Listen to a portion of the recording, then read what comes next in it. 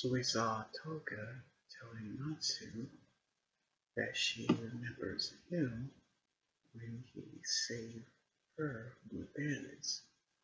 Of course, she was actually talking to Happy when she thought he was Natsu after revealing her true form, which is a Exceed form, which Happy quickly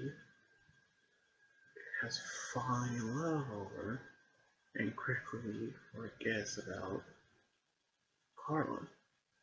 But now they've all realized that they need to figure out how to stop the others from destroying the orbs, in which we see how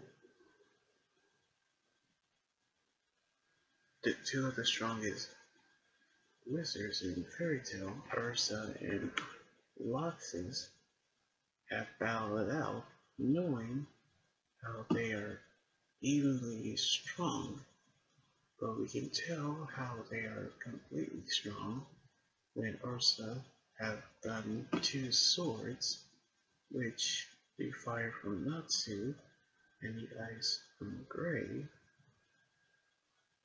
The last series, which she used them against Laxus, Although it hit, it does not become effective, so they continue to battle until they're completely drained, which she acknowledged his strength, which we knew that Kiria had decided to destroy the orb, knowing that three orbs have been destroyed, only two remains, in which Toga resumed her human form when the White Wizard is trying to take Natsu's power. But then Happy decides to throw the orb, which turns out to be a trap when the orb starts to form crystals on her body, which she is about to destroy it. So we actually knew how two of the strongest dragon slayers are strong, knowing how they proved they could be strong altogether.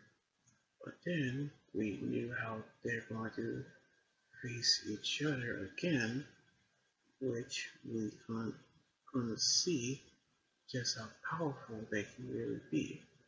So we're gonna see what's gonna happen on the next episode next weekend. So anyway, like this video, subscribe for more, and comment oh, what you think about the episode. You guys can follow me on Twitter, Instagram, Tumblr, and my Facebook page and Twitch. Until then, this is Anime Guys running your saying signing out. Laters.